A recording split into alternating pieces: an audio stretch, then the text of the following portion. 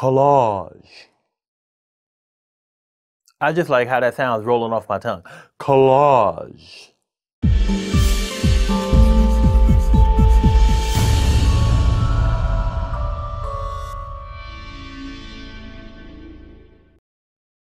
Hey Power Director peeps, how y'all doing out there? My name is Malik and I'm back on your screen with more Power Director love from PowerDirectorUniversity.com. Today I'm going to be showing you guys how to use the Video Collage Designer in Power Director. If you're going to be using this tool for your videos, I want you to put hashtag CollageMe in the comment section below. Alright guys, I kept you waiting long enough. Let's jump off into the software and make it happen. Here we are in Power Director 17. Before we get started, I want to remind you to subscribe to Power Director University to see great tips and tricks just like this every Saturday. And if you subscribe, don't forget to click on the bell to get notifications every single time I upload content to YouTube. Let's get our collage on. A video collage is a patchwork of several assets which are all visible on the screen simultaneously. It's basically a combination of various video clips, pictures, or objects that's transformed into one continuous video clip. And in this video, I'm going to break down the collage game into simple steps which will help you create some awesome videos for your peeps. As you can see, I have some clips in the media library. So to open the Collage Designer, I'm going to go up here to the plugin button and I'm going to left click on that. And I'm going to go down here to where it says Video Collage Designer and I'm going to left click on that. If you didn't have the assets you wanted to use in the media library, then they will not automatically import onto this screen. What you'll need to do is you'll need to click on this import media button. When you do, it'll open up the file explorer and then you can go to your hard drive, external hard drive, whatever you have plugged in, get your assets and stick them right on in there. I'm not going to do that because mine were in the media library, so they automatically imported them into the Video Collage Designer. Now, the next thing you want to do is choose your layout. So up here at the top, you get to choose from either all or custom or downloaded. So basically, if you pick custom, then it'll show any custom templates that you have. If you pick downloaded, it'll show any downloaded templates that you have. And if you pick all, then it'll show all of the templates that are available. Now, once you're here, you can use these arrows to scan through all the different templates. I don't like doing that. It takes forever. There's actually a button here for your video collage template library. So if you left click on that, it'll pull up a screen of all of the available templates that you have. So from here, you can go ahead and pick out whichever template you want to go ahead and use. And I'm going to go ahead and grab this one here. So I'm going to left click on it. And then I'm going to click on OK. The numbers on the templates indicate the order in which the videos will display or go through any animations based on the playback options that you select. Keep this in mind when you're placing your videos into the template. Now, if you don't give a fat donkey butt about the order of the templates, you can use the autofill button to fill in all of the frames. So if I click on this, it's gonna fill in all three of the frames for me. I don't want them to show up like this. So I have to remove these clips. So there's a few different ways I can go about removing the clips from the template when you put them in there. You can place your cursor over a template until you see uh, crosshairs. You can hold down your left mouse and you can drag it until you see a little trash bin. Once you see that little trash bin, if you let go of your left mouse, then it will disappear from the template. Or you could just right click and click on remove, which is a lot easier. You can just do that real, real, real, real, real, real quick. That's real, real quick. If you want your assets to show up in a specific order or have specific placement of the assets, you can drag each clip into a frame one by one. So that's what I'm gonna do. Just drag these bad boys in. Lovely. Based on the type of assets you have, you get different options when you hover over this screen. So I'm gonna hover over this video clip. And when I hover over it, it gives me the option to mute any audio So I could just click on that and it will mute the audio in that clip. And I can also trim the video. So if I want all of these to be the same length, let's say I want them all to be 9 seconds and 15 frames because that's how long this one is. So if I go here to trim, I can click on that. And you see it opens the trim tool. And I can either just type in the duration that I want, which was 9 seconds and 15 frames, and hit enter. And now it went ahead and trimmed it off the end, or I could have just put my cursor here and trimmed it. Either way, it's all good because I'm done. I'm going to click on OK because now this has been trimmed to 9 seconds and 15 frames. Now, if you have a picture, then you have an option here for your duration. So you don't really need to trim it, but you can change the duration. You can make a picture longer or shorter. So you can click on this little clock and then I can change the duration. Right now it's at seven seconds. I want it to be the same as the other two. So I'm gonna make it nine seconds and 15 frames. And I'm gonna click on okay. And now they are all nine seconds and 15 frames, all the same length.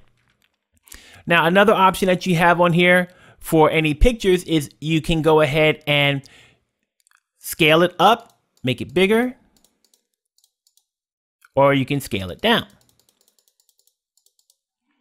Another thing that you can do for video clips or pictures or objects is you can reposition them. So let's say I wanted this guy to be more centered. Maybe I zoomed in and then I put my cursor over the screen until I saw the crosshairs, held down my left mouse, and I can drag this guy right to the middle. So you can reposition things. You can do all kind of beautiful goodness. Beautiful goodness, I tell ya. beautiful goodness. I love it. Now, another thing that I can do is I can actually reposition the frames.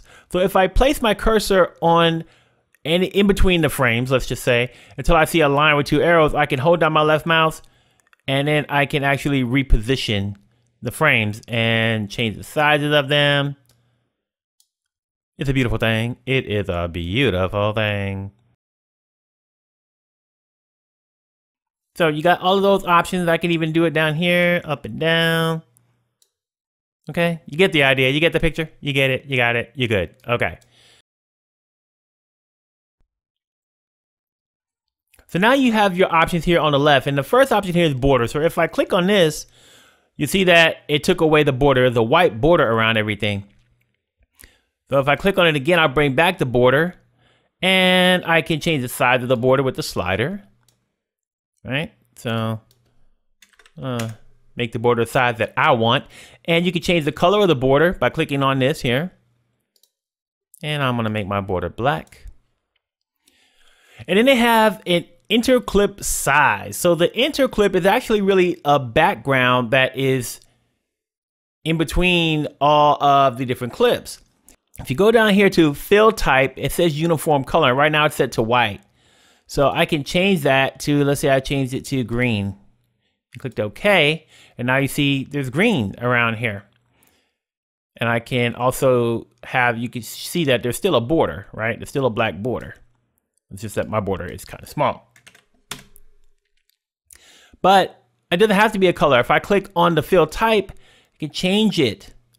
So let's say I wanted to have an image. I could click on that and then it opens up the file explorer and I can go to a location on my computer and pick an image that I want to use and click on open. And now you can see that that image that is shown here is also being used in the background. I love it. Now underneath that, we have our frame animation. So under frame animation, if you click on this drop down, you have the option to have it animate from the beginning, uh, during the closing, or you could turn the animation off. So all of these usually have an animation that it moves, these clips move into position in a certain way. And if I scrub the timeline, you can see the animation on this one, right? So you can see everything dropping into place. So that's the animation. So you could choose when the animation occurs. Now, anytime you hit play or you scrub the timeline, you want to hit stop so that it brings it back to the mode where you can modify things. So I'm going to leave mine on from beginning. And then we have start clip playback. So we can start the clip playback. So that means that if any of these are videos and they're going to play, when do you want it to start playing? So I want mine to start playing when the animation starts. So they're going to start simultaneously. If you wanted to, you could pick after and then all the animation would happen and then your friend your videos would start to play after they all went into place. Another important one here is before or after clip playback. So if I chose to start my clip playback after the frames animate, then I can say, okay, what do I want the frames to do before they start playing? So while that animation is happening, since my clips aren't going to be playing, I got to choose something to happen. Do I want the clips to just be frozen in place? Do I want a black color board to be on the screen until all of the animation stops? You know, or do I want to restart playback after the clips have played back? So if I have a clip that's shorter than some of the other clips, then it would restart playback after it stops. Right. So I'm going to choose uh, freeze the video. So I'll just leave all, everything frozen until all of the animation is done. And then we have advanced settings down here.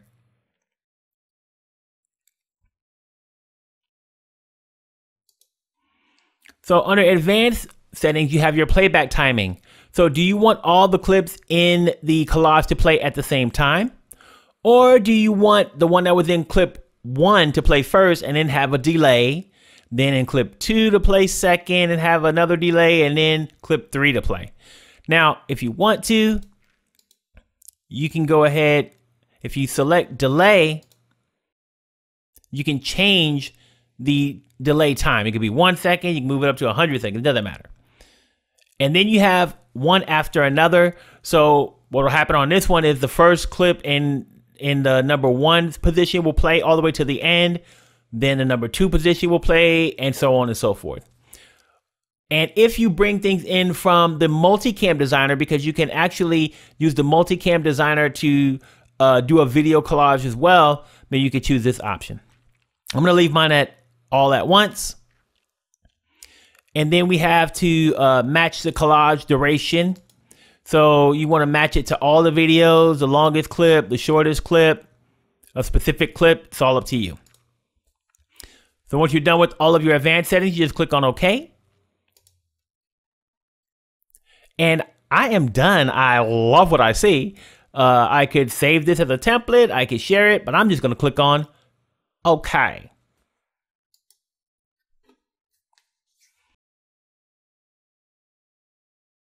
So now it's in a timeline for us to be able to utilize.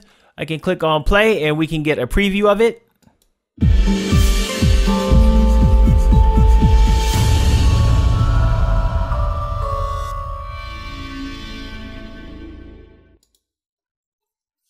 That's real collage. That was extra collage. And there you have it, people. How to make awesome video collages with Power Director 17. Don't forget to check out more of my content to learn how to use Power Director. If you decide that you like Power Director 17 and you want to buy or upgrade to the software, I'll leave some links in the video description that you can use to purchase it. Now, those are affiliate links, so if you use them, I'll get a small commission, which will help me continue to create content that teaches you how to use Power Director. You pay the same price as if you went to the site on your own and bought the software. So, if you want to help me help you, use the affiliate link. All right, Power Director peeps, I want to thank you so much for watching this video all the way through to the end. It truly means the world to me.